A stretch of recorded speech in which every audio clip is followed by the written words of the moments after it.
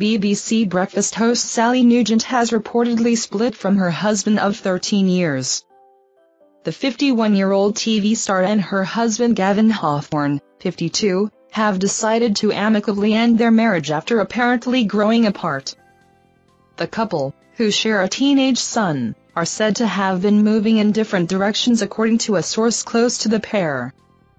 The presenter has always kept details of her life behind the camera very private with the star never actually confirming her partner's name.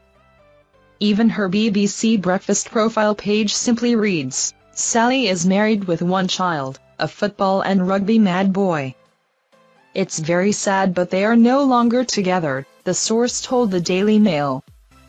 I think they tried to tough it out for quite a while as they didn't want to split up if they could possibly help it for the sake of their son but they clearly couldn't make a go of it. They've both been very guarded about the reasons behind their growing apart but it's been plain for a while that they had been and now it's obvious that they haven't been able to resolve that despite clearly trying for some time.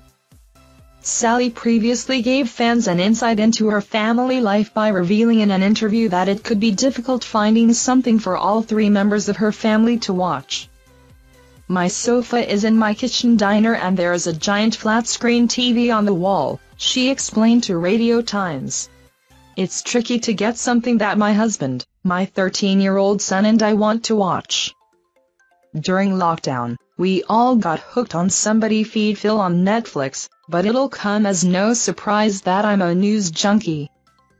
Sally's career has rocketed in recent years, starting off her presenting career at BBC Radio Merseyside before joining BBC Northwest Tonight as a sports presenter.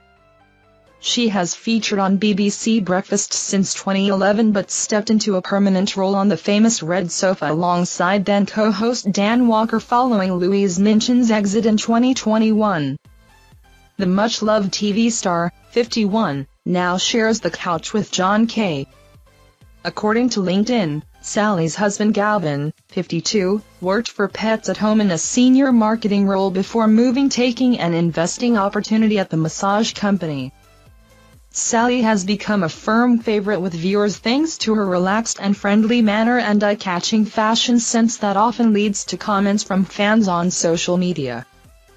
Earlier this year BBC followers flocked to Twitter to demand a change to the show's supposed rules after she stunned in tight biker jacket to present the news. While Jon was dressed in his usual attire for the morning program wearing a navy suit with a red tie, Sally opted for a slightly different look and matched a purple biker jacket that featured gold zip detailing with figure-hugging black trousers.